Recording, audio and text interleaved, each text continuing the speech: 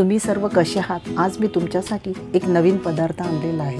तांदळाच्या पिठाचे घावण कसे बनवायचे ते आपण पाहूया. मऊ लुसलुशीत आणि सफेद कलरचे जाळीदार असे घावण. हे आपण कशाबरोबर सुद्धा खाऊ शकतो? सकाळी नाश्त्याला भाजीबरोबर आमटीबरोबर कशाबरोबर सुद्धा खाऊ शकतो असे हे मऊ लुसलुशीत घावण. माझ्या हे रेसिपी जर तुम्हाला आवडत असतील तर लाईक करायला सबस्क्राईब करायला आपण विसरू नका.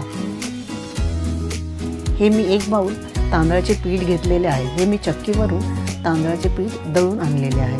तर हे एक मीठ टाकत आहे. मीठ टाकून झाल्यावर मी त्याच्यात पाणी टाकून ते व्यवस्थित असे मिक्स करून घेणार आहे की जेणेकरून आपले घावण व्यवस्थित होईल. ते असे एवढे पातळ करायचे की ते आपण ओतताना तव्यावर बरोबर पडले पाहिजे. अशा अशा प्रकारे हे मी बघा कसे केलेले आहे. त्या प्रकारे आपण व्यवस्थित अशी तव्यावर करू शकतो बिलाचाच तवा पाहिजे असं काही नाही. आपण साध्या तव्यावर सुद्धा करू शकतो. हे मी आता इथे साधाच तवा घेतलेला आहे. त्याला मी हे तेल लावून घेत आहे. आणि तेल लावून झाल्यानंतर सर्व बाजूने मी पीठ आता ओतून घेत आहे.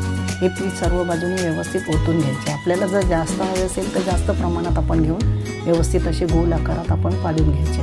आणि गॅस मध्यमच ठेवायचा. एकदम फास्ट करायचा नाही. थोडा एकदम स्लो पण नाही आणि फास्ट पण नाही. मध्यम असा ठेवायचा.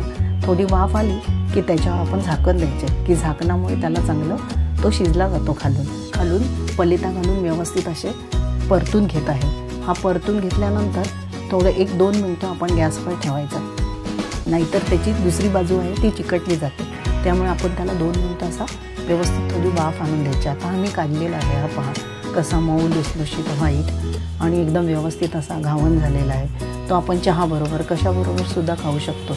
माझी रेसिपी जर तुम्हाला आवडत असेल तर आपण लाईक करायला सबस्क्राईब करायला आणि आयकॉन बटनवर क्लिक करायला विसरू नका. नमस्कार.